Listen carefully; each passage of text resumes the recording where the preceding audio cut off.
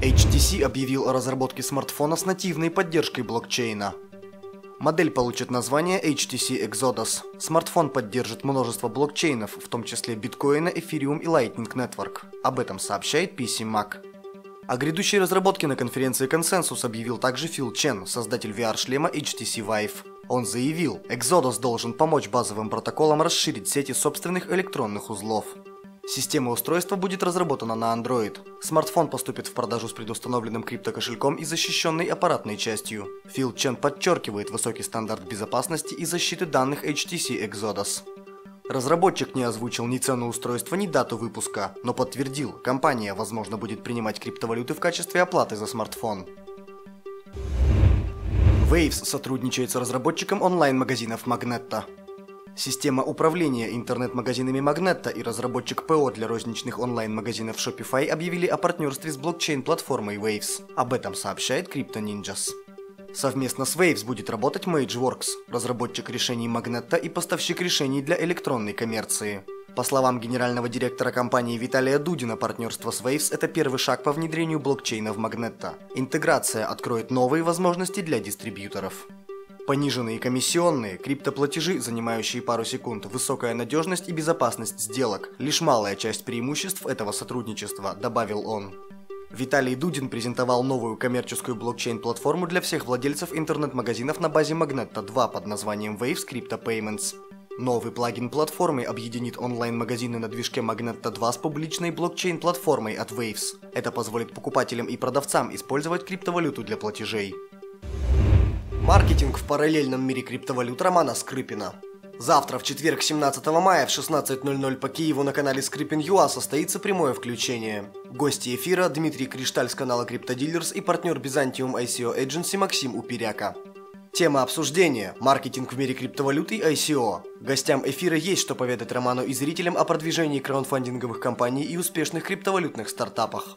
В роли интервьюера Дмитрий поговорил с десятком криптокоммерсантов, организовавших ICO и собрал множество примеров успешных первичных размещений монет. Максим также разобрал на части десятки ICO и криптостартапов именно с точки зрения консалтинга, маркетинга и стратегии продвижения. Ведущий прямого эфира Роман Скрипин. Трансляция начнется на канале CryptoDealers в четверг, 17 мая в 16.00 по Киеву. Компания Circle привлекла 110 миллионов долларов и запланировала выпуск доллара на эфириум. Бостонский стартап Circle Internet Financial Limited займется разработкой в сфере цифровых валют. Компанию по сбору средств провел производитель майнеров Bitmain, об этом сообщает Bloomberg. С последней инвестицией рыночная оценка Circle поднялась до 3 миллиардов долларов. Совместно с Bitmain бостонцы работают над собственной версией стабильного криптодоллара. Проект получил название Circle USD Coin или USDC. Его запуск должен состояться этим летом. USDC – это токен формата ERC-20, спроектированный на блокчейне Ethereum. Он будет обеспечиваться долларом США в отношении один к одному. Компания надеется, что USDC, как и другие стабильные монеты, будет обладать большинством преимуществ криптовалют и в то же время будет лишен непредсказуемой постоянной волатильности. Пользовательская база бостонской компании насчитывает 7 миллионов человек. Circle намерены встроить USDC в платежное приложение Circle Pay и в небиржевую торговую площадку Circle Trade. Также поддержку USDC планируется реализовать на недавно поменявшей своего владельца бирже Polonix.